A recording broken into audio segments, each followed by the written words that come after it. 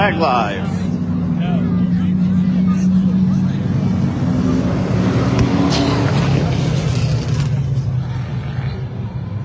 Okay, Sam Bauer goes the pace truck to the apron, then to the infield. Giordano in the 15, Doyle in the 73, Ethan Brown in the 25, Bill Mancuso, keep your eyes on him in the 64. Here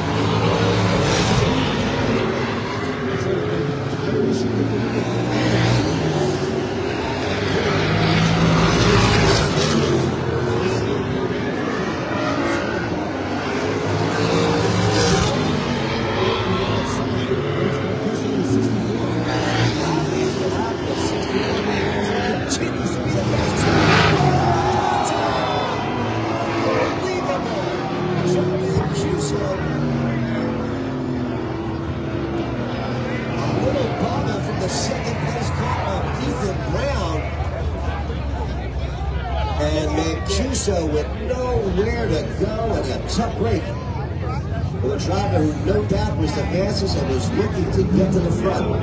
Joe Mancuso, uh, in Buffalo, New York. If we get that car refired and see what kind of damage indeed he does have in running 64. Ryan Doyle, three-time world champion, was running fourth. You can see he pulls way down the backstretch, and he's going to probably drop to the pits. No, surprising. Ryan Doyle stays on the track. Number 73, we'll see what Joe Mancuso does. With number 64, the car's making pretty heavy contact. And Mancuso stayed on the track as well, Gary. lap, he was the fastest car. See if the officials going to check it out and see maybe it's perhaps a problem with car number 64. Now up front, Gerard Giordano in the 15 was sideways in each of the corners for at least a lap, lap and a half. One time almost went completely around out of turn four, but gathered it in. So Ethan Brown attends John Hopkins University during the week, running a second spot in the 25. Are you gonna bet? Why? And Mancuso indeed does bring the 64 to the pits. He would give an update for the status of car number 64. And he was coming to the front. By the way, Joe uh, Mancuso, driver of car number 64, I don't know if I got that one. I don't know. I was, like, Jr. I was ahead of it, I think. racing up in the western New York area. Also, of course, races himself, we said, with the late models and The other I have, I have in the real. Racer in my Champions reel, Hope he could make it back out because he was putting on a show. Yes, he was. But Houston running the inside, outside, and he was really getting set to make a run. And Ethan Brown's 25 and Gerard Giordano's number 15 before that crash.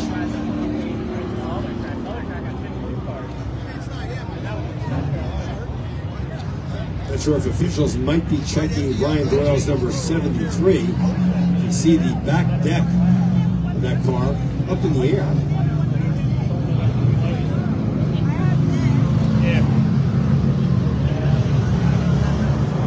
Yeah, it's okay.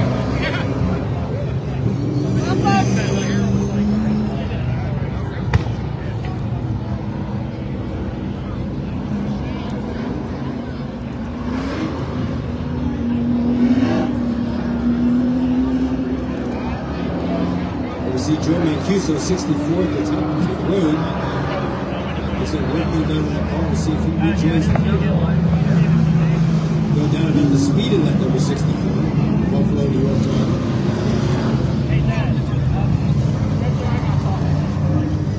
I think that the 25 V is Harry Pound's old car.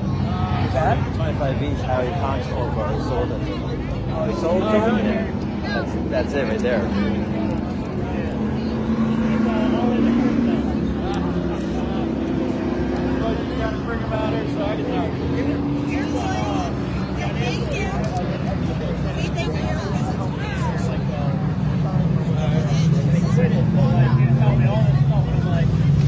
Brian Doyle he's going to stop here on the home stretch track for the safety is going to check that back neck.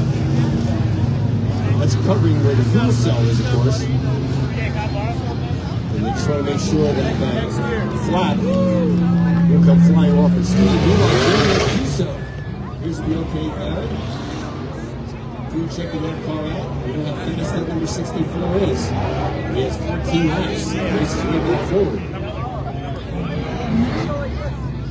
Yeah, he's got his work cut out that's for sure. Not sure if I have enough time, but the car was very quick, especially the last 10 laps or so. Yeah, looks like Brian Doyle's okay in the 73 as well.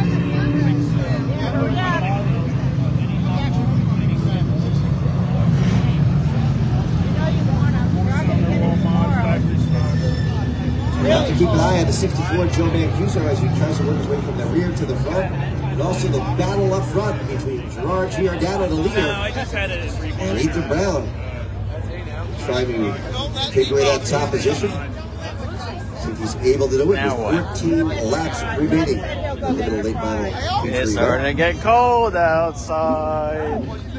Report of debris down in the third turn area. We need the modifieds up next It's the team going out there to check that. Before the tires get too cold.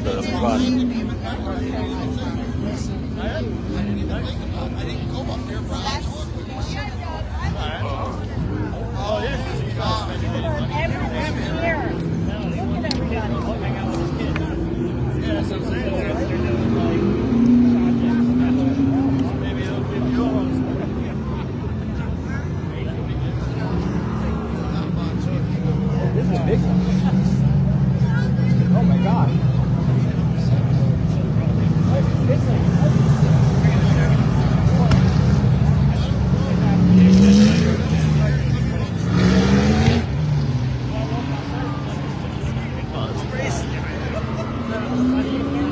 Okay, so George Giordano in the number 15, 25E, Ethan Brown, 82 Mark Hudson this year's seat at at Mahoning Valley Speedway. Late model champion. On the side is Richie Davidowitz in the 17 and Delaney in the 60. Ryan Doyle in the 73. Doyle in the 73, Mancuso in the 64, looking to race their way back forward. Two very fast cars. Here they come through.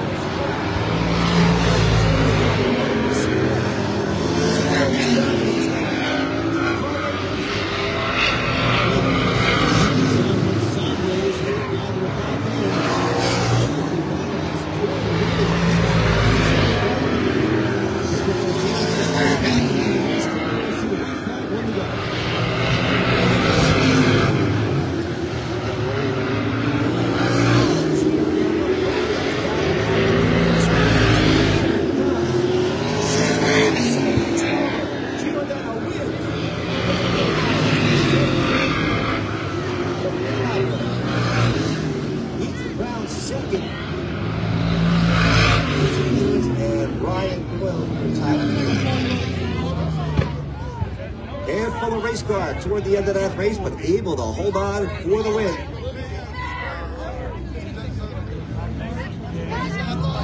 We'll go trackside to Jeff Gravett, but no doubt a happy winner in car number 15.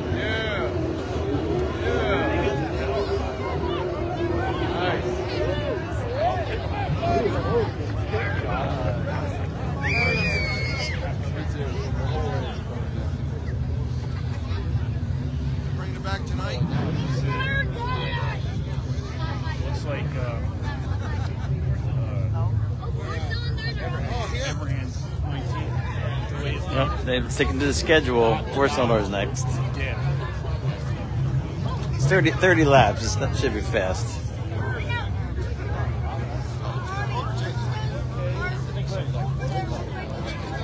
All right, we are down to victory lane.